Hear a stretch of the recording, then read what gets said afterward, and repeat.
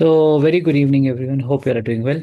In today's session, we are going to talk about uh, osteoporosis, uh, the latest in the guidelines and the updates regarding osteoporosis. Uh, here, we are going to have a quick review of the National Osteoporosis Guidelines, which were recently published in 2024. And uh, also, I'm going to take you all through the a review article which was published in uh, ACE Endocrine Practice dealing with uh, the treatment sequence which we need to follow for our patients with osteoporosis to help them uh, get the maximum benefit out of the osteoporosis therapy. Uh, these lectures are the latest updates in this uh, section. Uh, I already have a very detailed session on osteoporosis, uh, which uh, has been covered in my uh, previous set of lectures. Uh, all my subscribers are well aware of this. So let's start right away. And uh, as I mentioned, here I'm going to talk about uh, two topics particularly. First is about a review article which was published in the endocrine practice uh, dealing with treatment sequence for osteoporosis. We are going to do some case-based scenarios based on this article.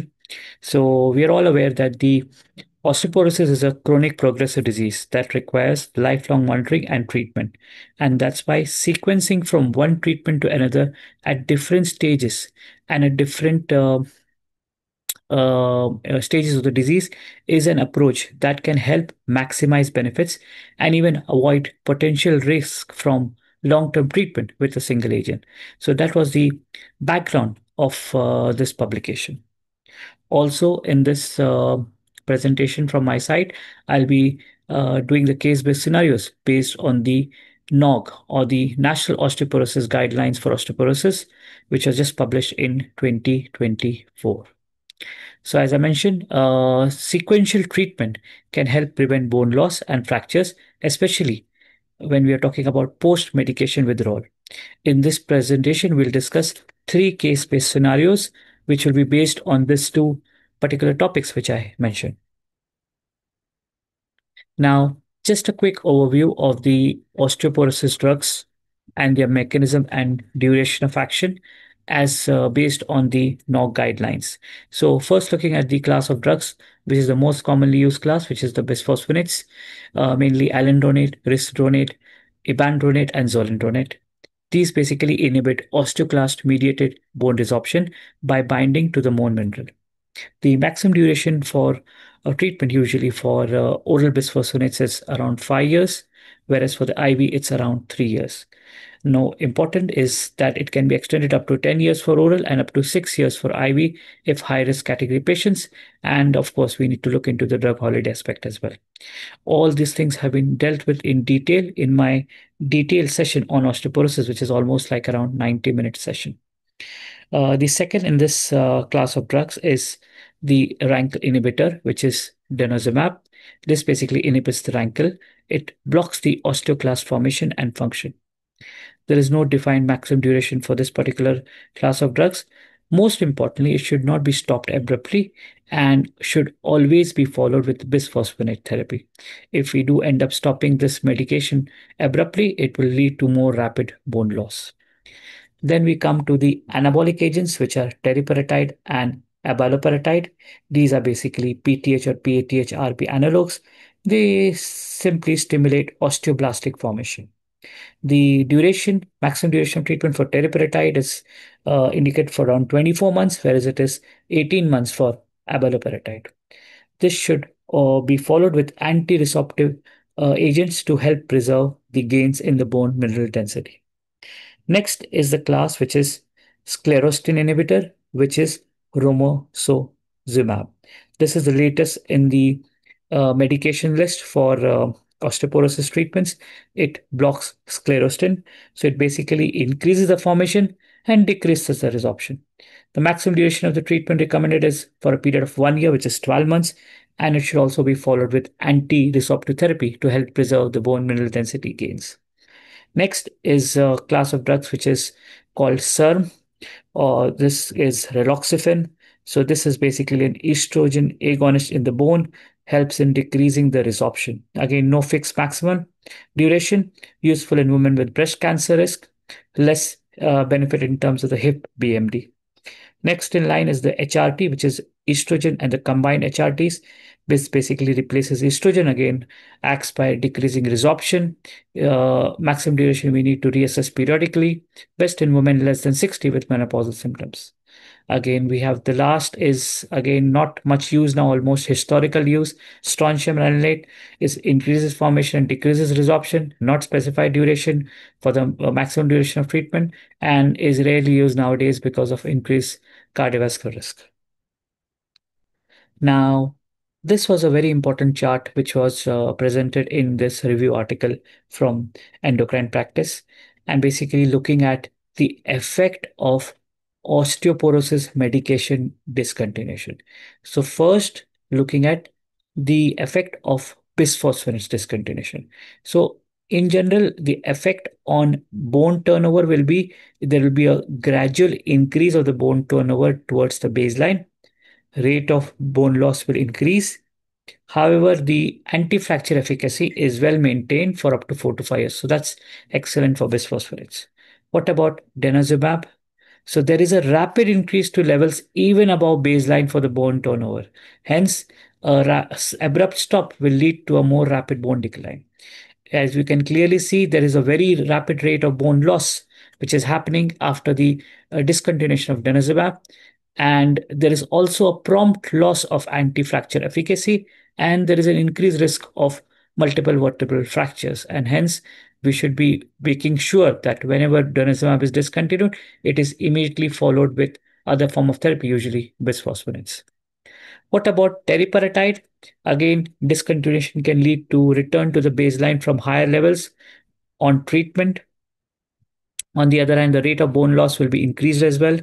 And there is some possible maintenance of anti-fracture efficacy to, through around for 30 months. What about romosozumab? again increase to levels above the baseline. Uh, rate of bone loss again rapidly increases. Uh, effect on fracture after discontinuation is not yet evaluated. What about hormonal therapy like raloxifene? Again, return to the baseline for the bone turnover.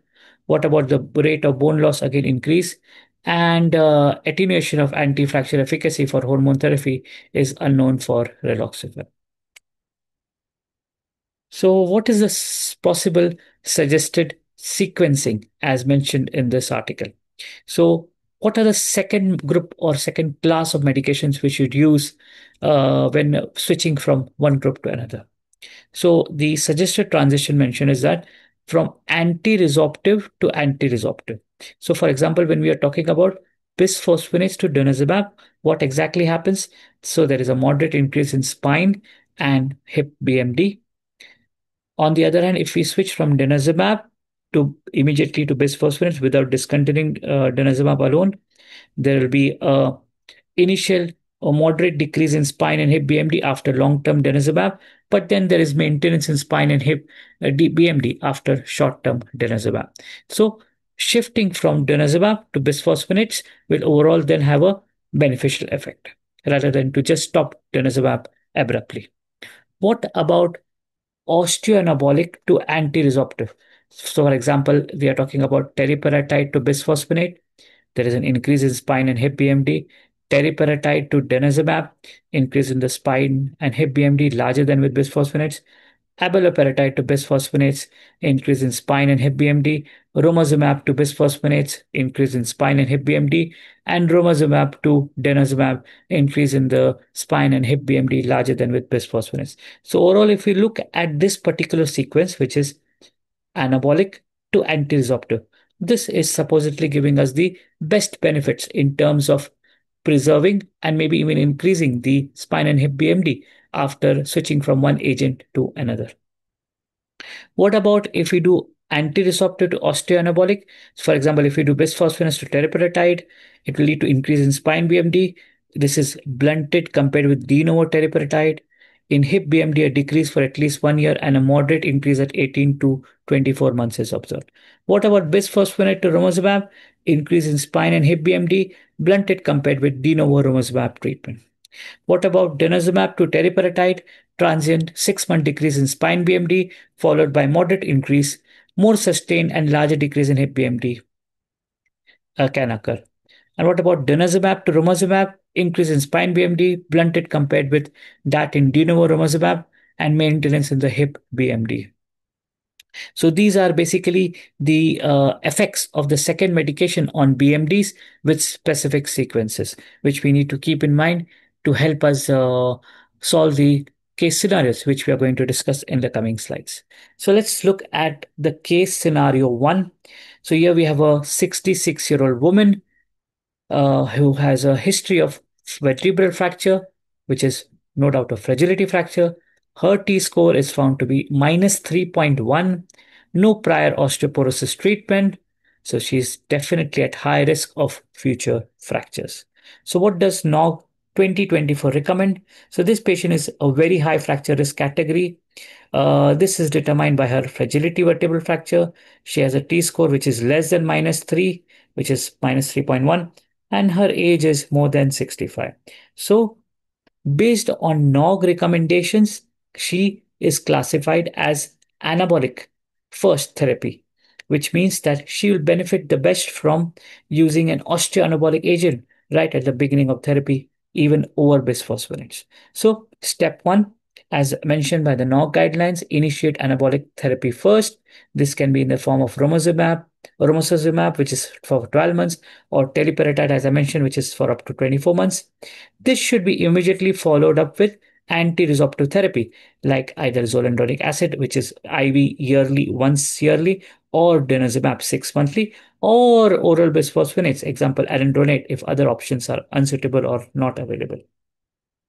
We should always ensure adequate vitamin D repletion before initiating any uh, treatment. Uh, this is in the form of more than or equal to 800 units per day of vitamin D plus calcium intake of 700 to 1200 milligram per day. So this is all as per the NOGG 24 recommendations, 2024 recommendations for this category of patient, which is at high risk of future fracture. What is not recommended initially for this patient? So we should ideally not start oral bisphosphonates. It is will not be optimal in this patient. Uh, we should uh, because the patient is already a very high risk patient with a fragility fracture with a T score which is minus less than minus three. We should not delay treatment by doing frax or DEXA again. Already high risk is confirmed the best treatment strategy as recommended by NOGG 2024 and even as recommended by the ACE article uh, is that uh, we should fo- do an osteoanabolic therapy, which is romosozumab, then followed by anti-resorptive therapy. So this is the f- best sequence uh, for his therapy, for her therapy, uh, based on the guidelines. Let's move on to case scenario two. So this is a 72 year woman with uh, treatment for osteoporosis in the form of oral bisphosphonate, which she's already using for the last seven years. She recently sustained a hip fracture, and her current BMD score is still poor at less than minus uh, is less is uh, less than minus two point nine. So that's the end of my uh, free view. If you like to subscribe uh, to my full lecture series, which contains all these 91 lectures, plus you'll have access to uh, my full 91 lectures lifelong. Uh, in addition to this, you'll get free access to the upcoming lectures uh, as a part of the package as well. So for details of my subscription, please email me to mazirules at gmail.com or you can simply WhatsApp me at 0097155 So remember, as a part of subscription, you'll get access to the existing 91 lectures, plus also all the lectures coming for lifelong. Thank you so much.